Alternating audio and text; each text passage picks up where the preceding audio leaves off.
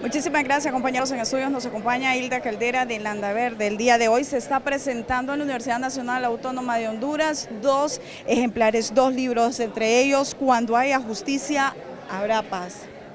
Así es, nos sentimos muy complacidos el día de hoy, después de tres años de trabajo continuo, vamos a presentar dos libros sobre la vida de Alfredo en el marco de una campaña que la Fundación Landaverde ha llamado Todas y todos merecemos justicia.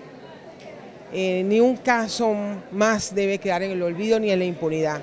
Yo creo que aquí un ser que maten, ¿verdad? que asesinen de una forma vil, merece justicia, no importa la condición que sea. En honor a mi esposo que nos inspira, ¿verdad? lanzamos eh, estos libros sobre su vida, que es también un ejemplo, él es un ejemplo, él fue un político honesto, político capaz, eh, amoroso para su país, quiso lo mejor, ofrendó su vida y eso no lo podemos olvidar. En esos momentos se está dando en el país una situación difícil, se está depurando la policía, sin embargo, por parte de la Corte los están regresando otra vez a la policía. ¿Cómo se siente usted ante estos hechos? Mire, tarde o temprano la verdad la vamos a saber.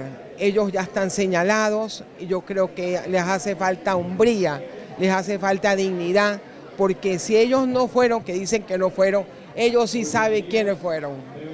Muchísimas gracias. Bueno, eso es lo que se está presentando, dos libros con la historia de Alfredo Landa Verde. Compañeros, con esta información retornamos a estudios principales de Hable Como Habla Televisión Digital.